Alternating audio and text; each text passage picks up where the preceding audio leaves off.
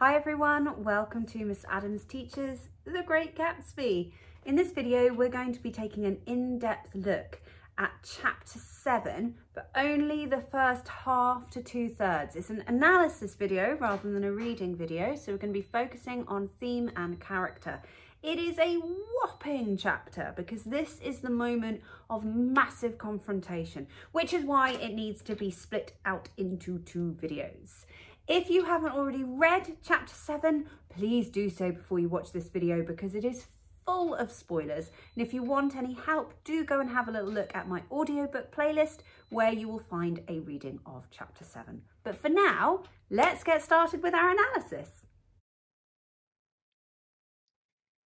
So we'll do a plot summary of the whole of the chapter just so we know where we're going. Now the chapter does not open with a big wild party. In fact, it opens with the opposite, a recognition that all of the parties are gone and no one is rocking up to Gatsby's house for momentous amounts of booze anymore. He's even got rid of all of his servants. He's replaced them with a bunch of people that clearly work for Wolfsheim uh, for the kind of guarded reason that he needs people that can be discreet when he and Daisy are around.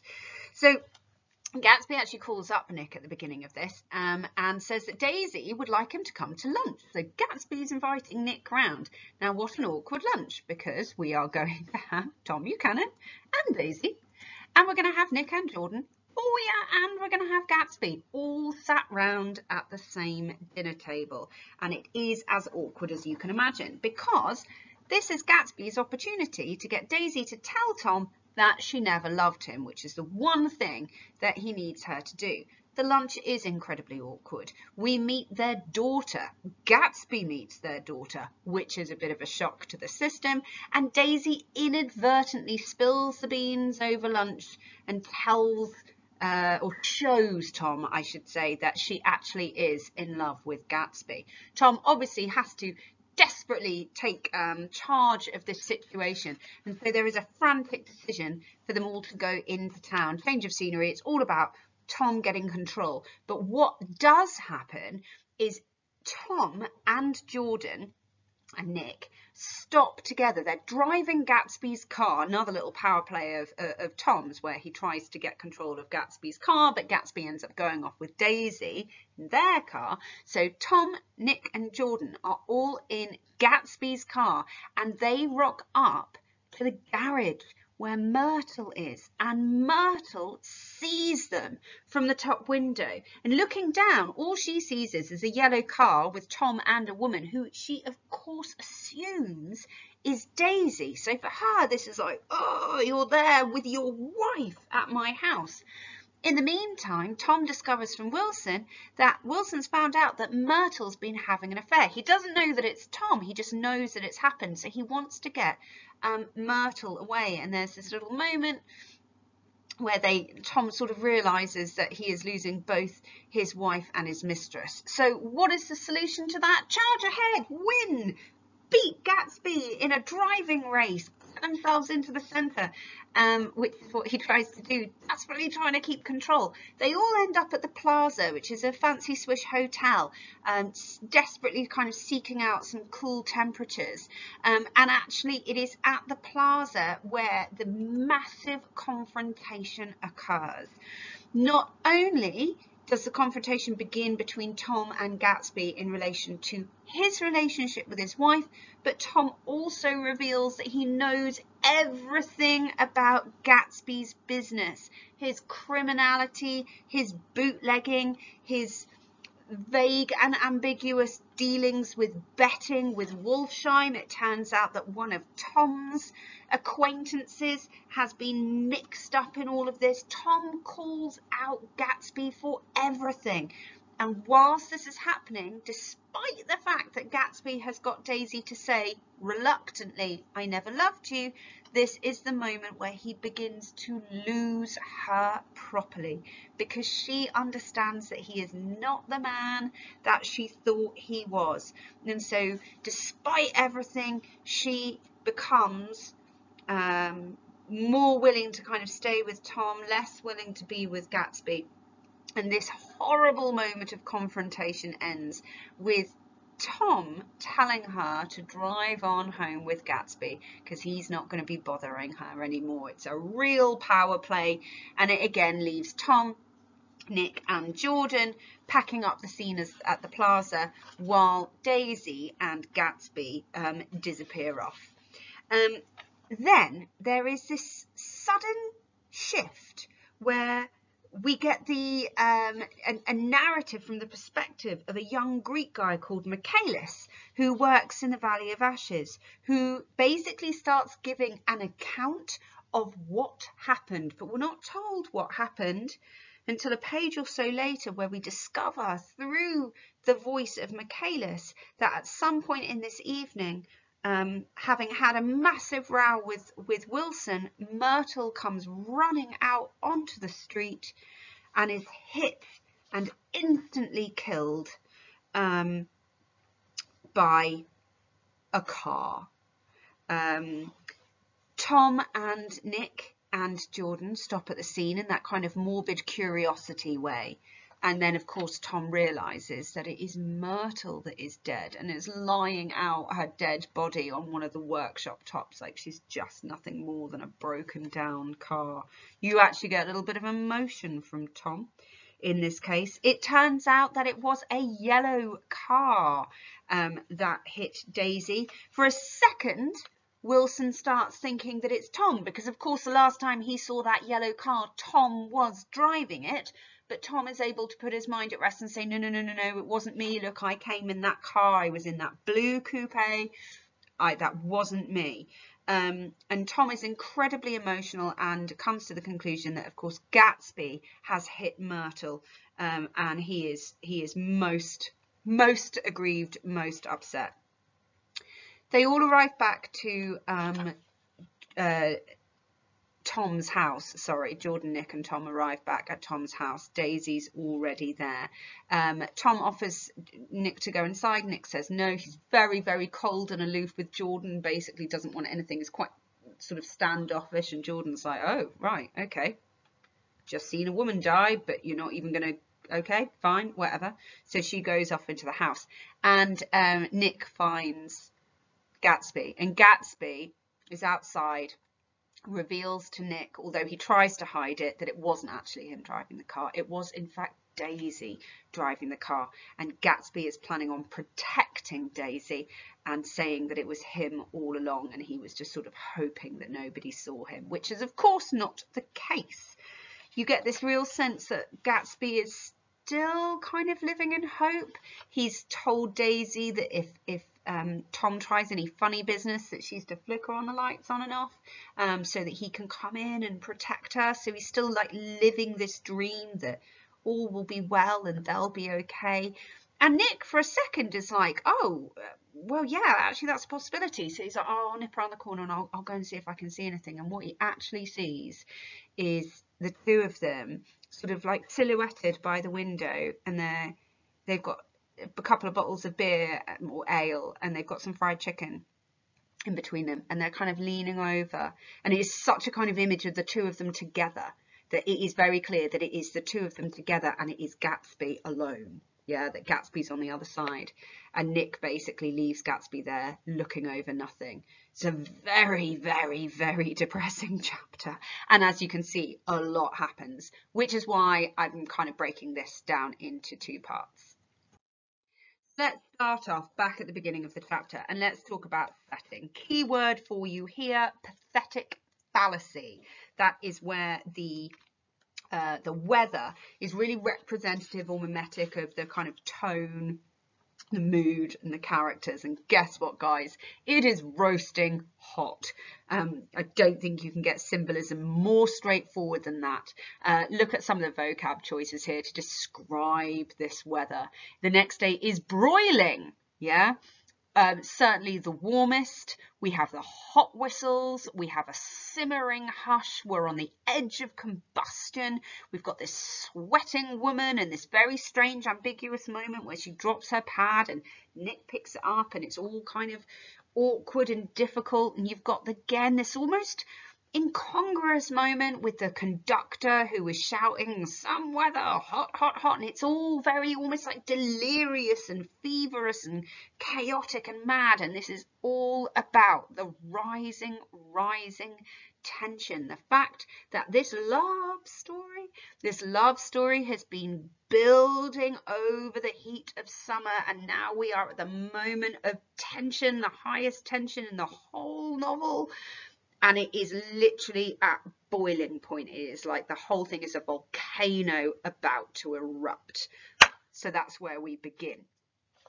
This is their kind of description en route to uh, Daisy and Tom's house. Now, there's all sorts that we could talk about about this dinner, but the first thing that I want to draw your attention to is the fact that we meet Pammy. Daisy's child.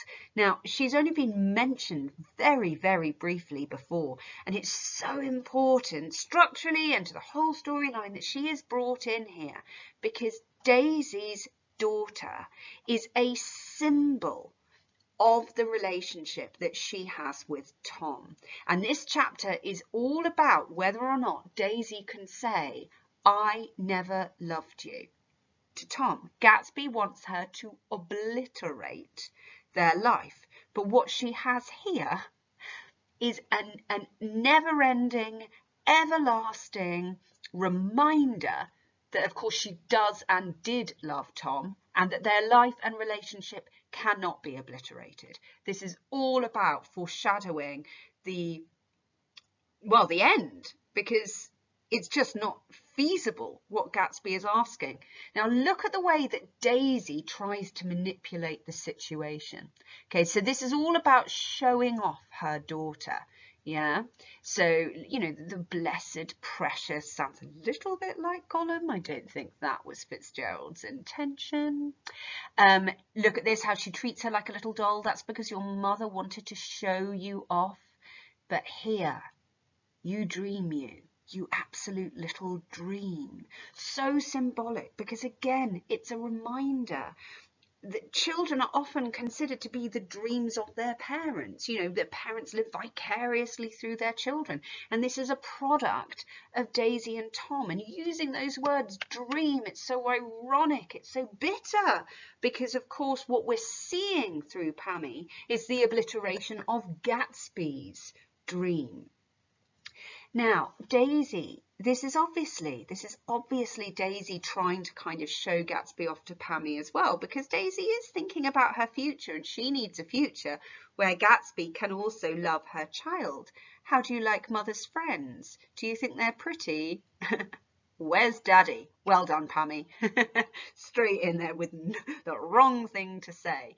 Uh, but Daisy is trying to kind of fashion a narrative that makes sense for their future, pointing out that she doesn't look like her father, she looks like me, she's got my hair and shape of face. It's all about showing that the, the future can be sort of rewritten as well, like Tom can be written out of it. So it's like Gatsby is trying to live in the past and Daisy is trying to kind of establish a narrative for the future that works. But if you look at Gatsby's reaction. Look here, I've popped it in bold. Gatsby and I in turn leaned down and took the small reluctant hand. Afterwards he kept looking at the child with surprise. I don't think he had ever really believed in its existence before. Of course he didn't. Of course he couldn't believe in its existence because it doesn't work with his narrative, with his storyline of he and Daisy as the greatest love of all. You can't have a child with another man whilst never having loved another man. So this moment is a real, uh, uh, uh, it's not going to work. And on that note, let's look at the way that the revelation takes place. So this is still in their house. Remember, hot day, hot, hot, hot, everything hot and horrifying, hot, hot, hot. Daisy says, who wants to go to town? Yeah, restless and looking for something. Gatsby's eyes floated towards her. Ah, she cried, you look so cool. Okay, you look so cool, meaning you look attractive, you know, you look really together, but it's also you look so cool, it's like a tonic to the heat. She's hot, she's struggling, yet he is cool. He's like an oasis. He's like something to escape into. And then the death blow. You always look so cool. It's that little adverb. It's like you are always the person to make me feel better. You are always the thing that I can escape to. And look at the kind of romance in this moment. They stare together at each other, alone in space. She had told him that she loved him, and Tom Buchanan saw. So it doesn't matter that she didn't say, Gatsby and I love each other, Tom. It's this moment of, of like such togetherness and such intimacy across this crowded table that Tom sees, and that is enough. That is enough to shake him. Now she moves on, kind of trying to make it better, I suppose, or maybe oblivious. You resemble the advertisement of the man, you know, the advertisement of the man. Now, this is so fitting um, because of course that's exactly what Gatsby is. He's an advertisement of man. It's like this falsity. It's about he he has presented this this version of himself, which is all about looking how he thinks people want him to look. People being Daisy. So she's really actually hit on it. In one moment she's showing that she loves him, but in the next moment she's also showing, very ironically, that she doesn't really even know who he is because he is nothing more than an advertisement for a man. Now, not wanting to completely and utterly like tear apart the beauty of their love or anything, but I'm gonna. Sorry. As they are getting ready to leave the house, this is what happens. Gatsby's in a bit of a mess. He turns to Nick rigidly. I can't say anything in his household sport. She's got an indiscreet voice, I remarked. It's full of... I hesitated. So this is Nick talking about the whole you're so cool, you're always so cool. Like, whoopsie, that was a bit indiscreet. But look at how Gatsby finishes his thought.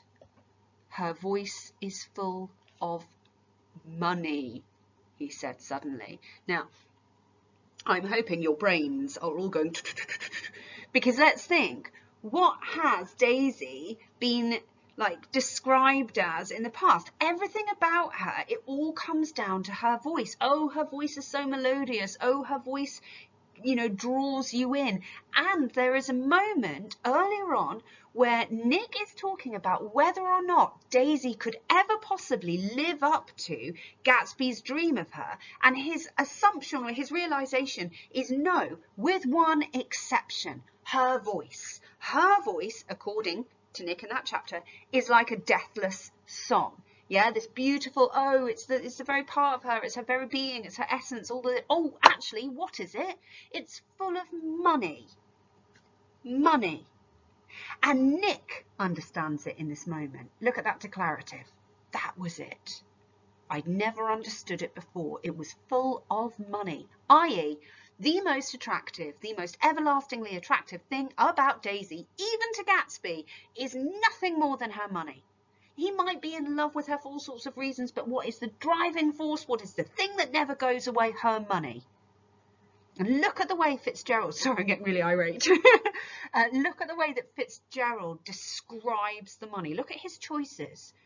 That was the inexhaustible charm that rose and fell in it. That metaphor of the melody of her voice is nothing but the jingle of coins, the jingle of it, lovely onomatopoeia, the cymbals song of it. Notice again that sibilant sound there again. It's so phonetically representative of money and coins and rustling cash. And then you get the allusion to King Midas again, all the way back from chapter one. High in a white palace, the king's daughter, the golden girl, King Midas who touched, whenever he touched anything, it turned to gold. So Daisy is nothing more than a statue, a gold statue that cannot love or be loved because all she is is money. So although we might here be going, oh, Gatsby and his love for Daisy, what motivates that love? I'm going to say it one more time. It's money. And on to other people we don't like. So this is a real chapter for look how horrible everyone is. right, Tom Buchanan. He is so threatened quite rightly, because his wife is having an affair with the man that she's brought for lunch. But you know, kettle, pot, and all of that. Um, let's start looking at some of the digs and some of the power challenges and the dynamic between him and Gatsby in this chapter. Uh, one of the first things. I don't see the idea of going to town, broke out Tom savagely. Women get these notions in their heads. This is very similar to something that he said previously to Nick about Gatsby being a funny fish and Daisy getting these notions. So he's he says this to Gatsby in this case. It's very much pointing out that Gatsby is a passing thing. She's just a notion. Um, now, as um, this is again such a massive power play here. This is as they're getting ready to go to the plaza and they're talking about whether or not Gatsby's car um, has enough gas in it because Tom has decided that he is going to drive Gatsby's car. What a metaphor. Um, and his plan is to take Daisy in it. Plenty of gas, said Tom boisterously. He looked at the gauge. If it runs out, I can stop at a drugstore. You can buy anything at a drugstore nowadays. Ooh, another pop at uh, Gatsby there. He's trying to make him feel uneasy. He's showing him that he knows about his history and his past and how he got his money. Because guess what, guys? In the Prohibition, when people wanted booze, guess where you got it? You got it from the drugstore. That's where the illegal bootlegging sales were going on because the drugstores were the one place you get a prescription for whiskey, believe it or not. So there was a lot of over-the-counter naughtiness with booze. So a pause followed this apparently pointless remark. Of course, it's not pointless. That's why you've got apparently um, there as an adverb um, because it is very pointed. But look at the reaction that Gatsby has. An indefinable expression, definitely unfamiliar, vaguely recognisable, passed over Gatsby's face, something that he had only described in words. Is it fear or is it feeling murderous? And Tom has one final put down there. I'll take you in this circus wagon. Lovely little metaphor to kind of point out the the gaudiness and the brashness of new money Gatsby. You know, he's hitting him where it hurts. This is in the car. Tom Jordan and Nick. Jordan's giving him a bit of a tell-off for being a snob about Gatsby. Uh, and Tom reveals that he's done some investigating. And this is about Oxford. He goes, an Oxford man who's incredulous, like Helly is, he wears a pink suit. Yeah.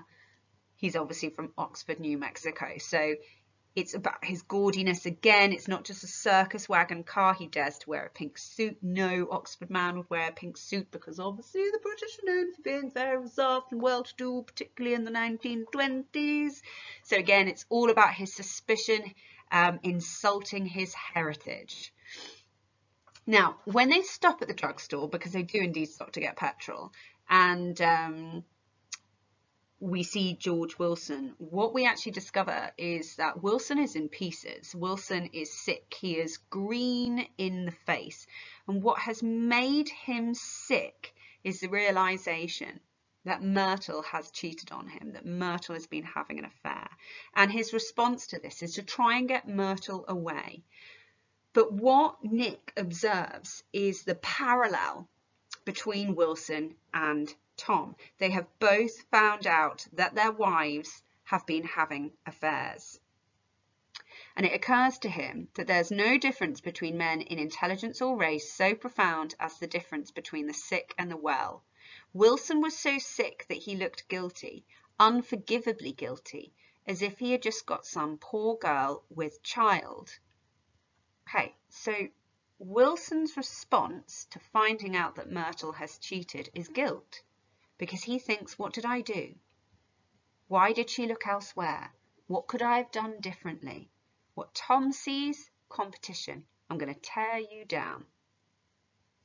But what is interesting is the reaction. He says, I'll let you have that car. I'll send it over tomorrow afternoon. Now, I will do a, whole other video on the whole Tom and Myrtle relationship at another time.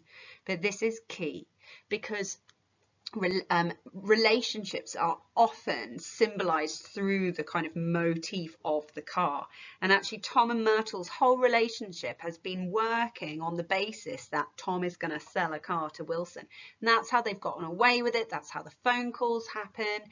And that's how they stay in one another's lives. And in this moment where Tom says, I'll let you have that car, it's literally like Tom relinquishing his hold on Myrtle. It's like saying, I'll give you back your wife. I'll let you have this one. Yeah, so he is literally relinquishing in this moment. Is it guilt? Is it guilt because he has a, oh, what, um, you know, this has happened to Wilson, what's happening to me, and look, he's sick. Maybe, maybe it is guilt. Maybe it's just getting a bit too complicated.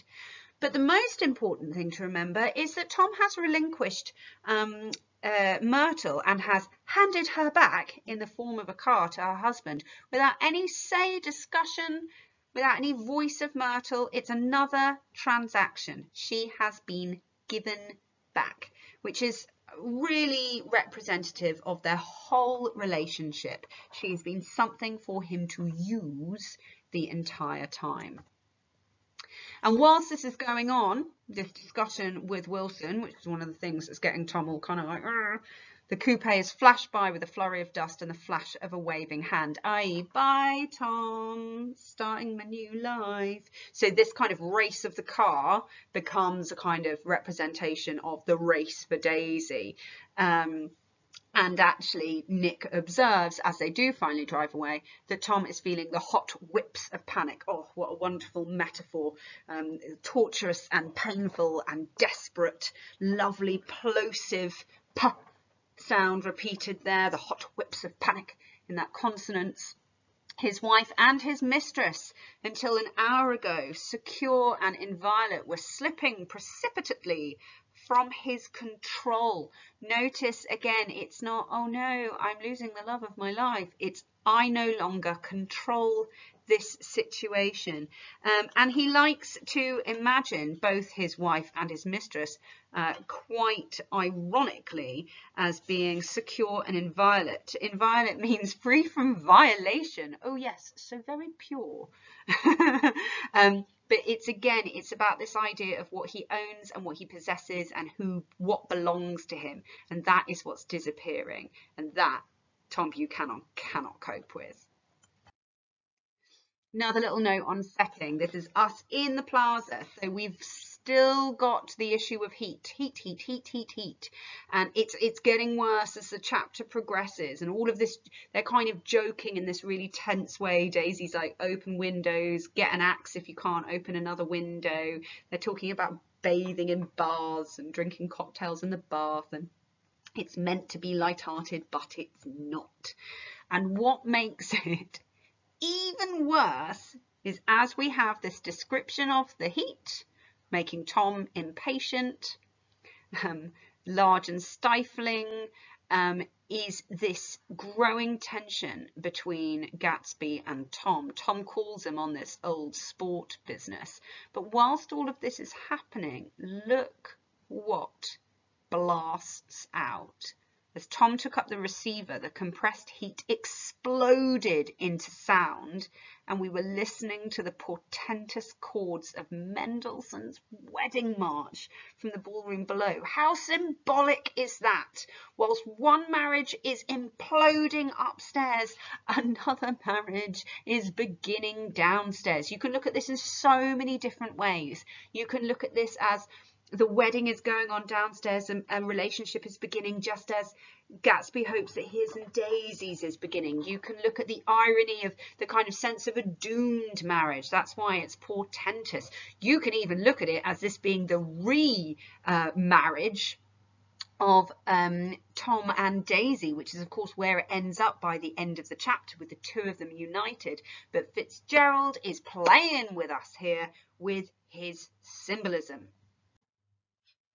Who's Biloxi? What happens? We suddenly get into the story of um, Tom and Daisy's wedding, which is obviously going to be very difficult for Gatsby in the first place. But then we get onto this weird convo about this chap called Biloxi, who is clearly a fraud. And it's in this moment that everyone establishes that this bloke that went to Tom and Daisy's wedding and then subsequently stayed with Jordan for three weeks lied to them all, telling each of them that he knew another one, told them that he was a president of Yale at the university, excuse me. There. He told me he was president of your class at Yale when there wasn't a president. So this tiny, seemingly incongruous storyline is there for one reason and one reason alone. It triggers the conversation about Gatsby being a fraudster. It's a parallel to Gatsby. They're talking about a man pretending to be someone he, he isn't and using the people around him to do so. Look at the way that Gatsby responds. Gatsby's foot beat a short, restless tattoo. Like he sat there like, like tapping his foot uncomfortably because this is like a version of him being described. And that's exactly what leads Tom to start this new line of questioning. I understand you're an Oxford man.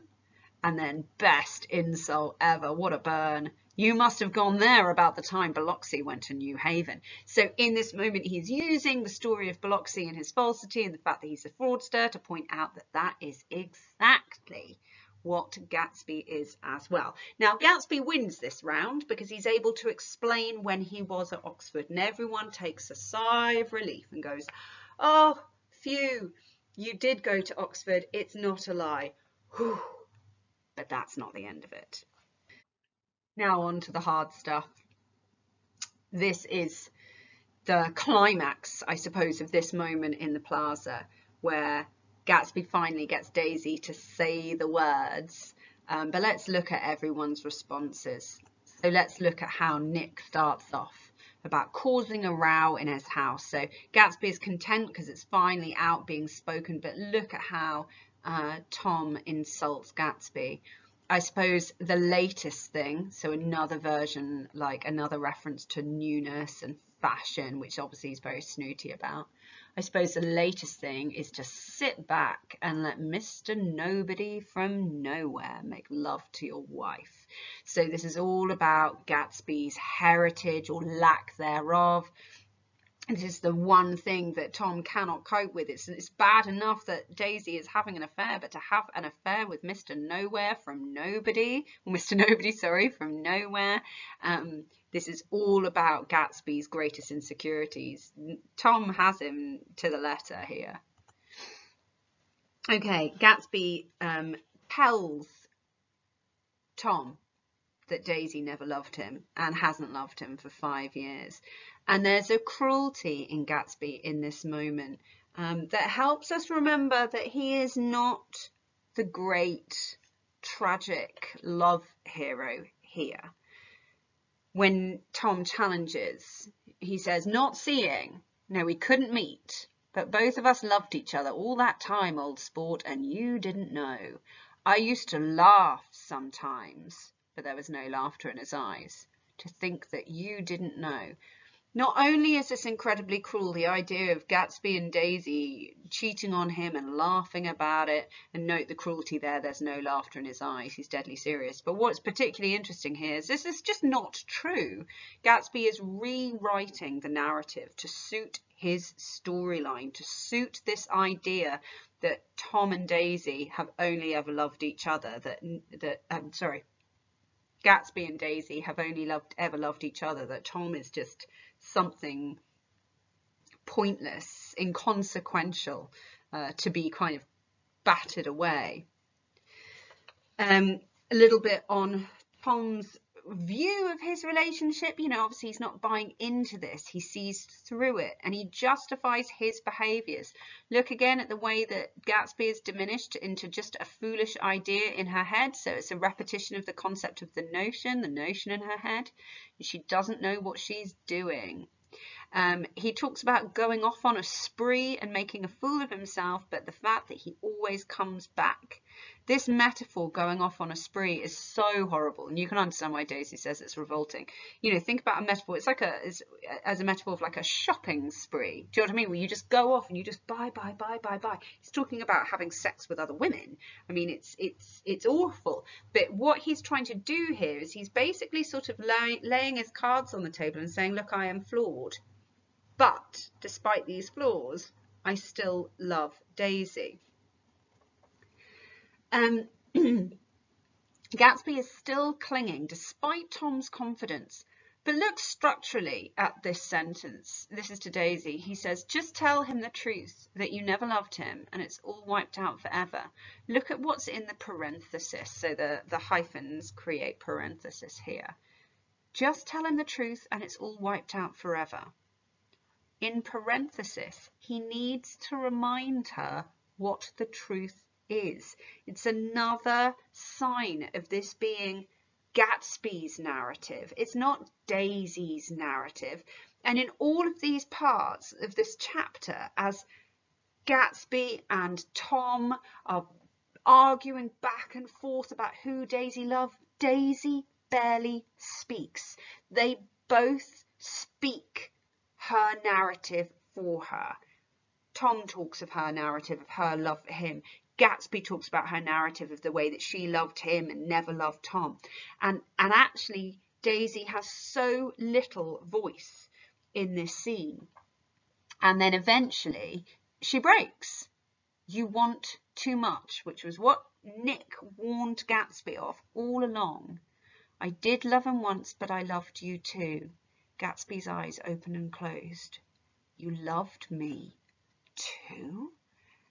It's like total disbelief for Gatsby. This is almost a betrayal. This dream here is now just like slipping, slipping, slipping away because the notion that she could love him too goes against the big narrative of Gatsby and Daisy that she never loved anyone other than him, that her whole life has been a lie because Gatsby's the only one.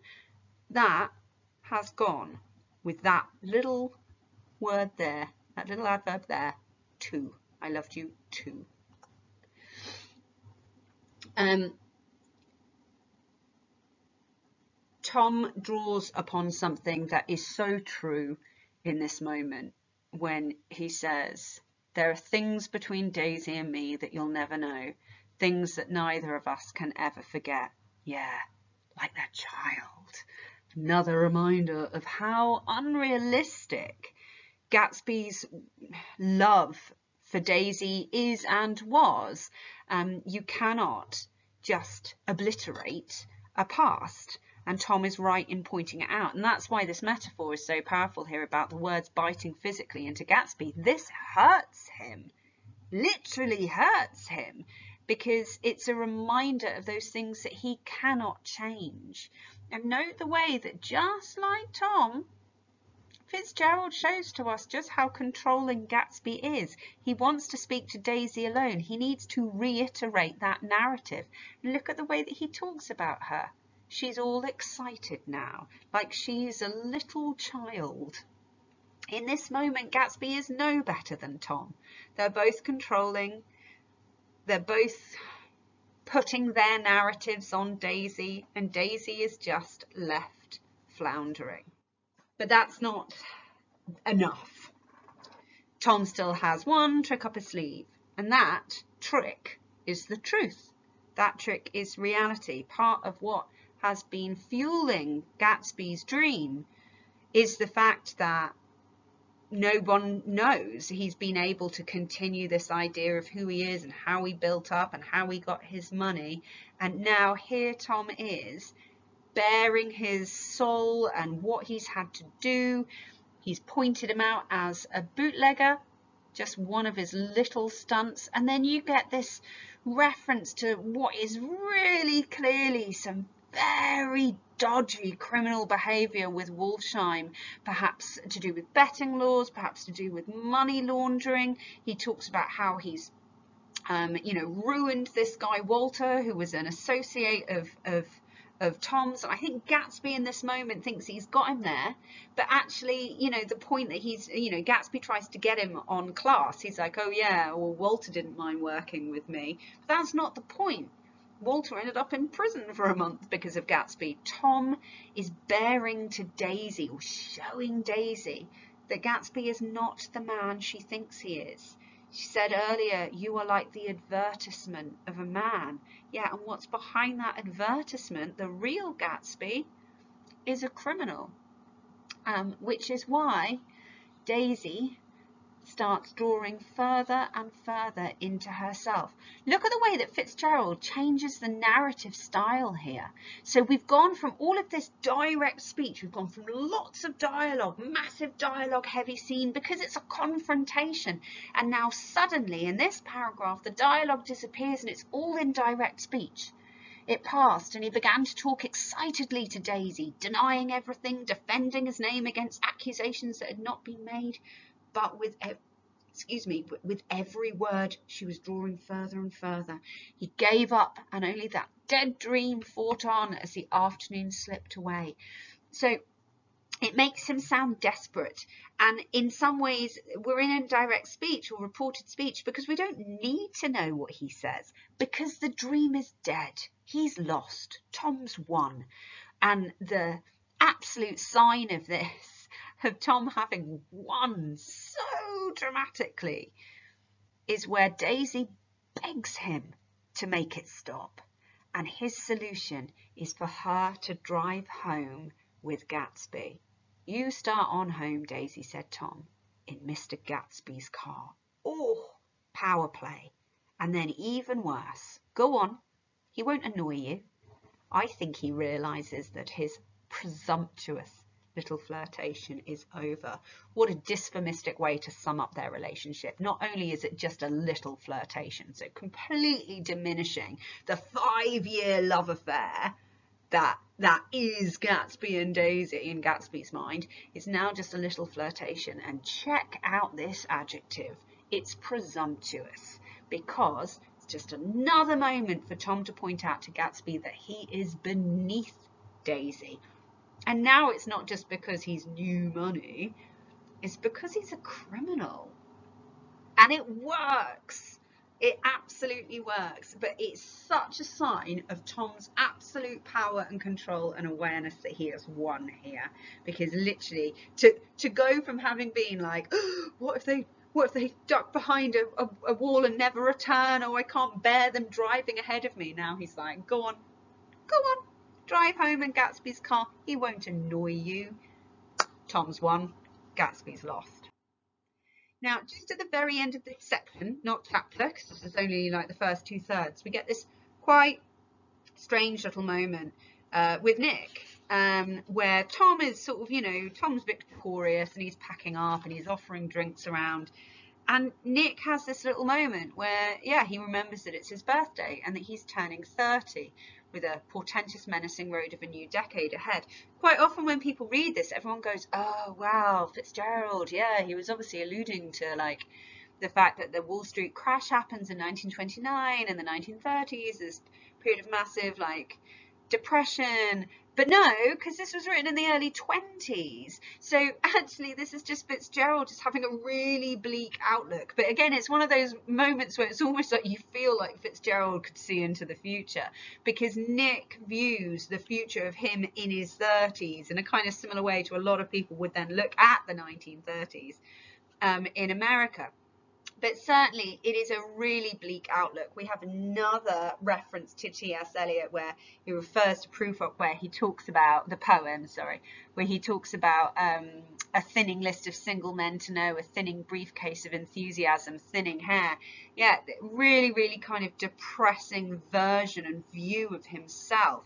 And the one thing that kind of perks him up is the idea of Jordan. And Jordan is a little tonic to him in this moment. And why is she a tonic to him? Because, yes, that's right, Nick views her as a thoroughly two dimensional, emotionless being who wouldn't possibly carry well forgotten dreams from age to age. He's attracted to Jordan in this moment because he's like, she couldn't possibly have the same issues that Daisy has. She's not going to have some love affair from the past because she's just Jordan. Um, and so in this moment, he's like, oh, Jordan, yes, my lovely, cold, emotionless girlfriend who I could never possibly hurt. And then the absolute stinker of a sentence.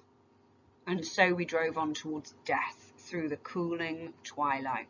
Okay, obviously we I've spoilt the end of the, this chapter. We know that we're this is foreshadowing of Myrtle's death.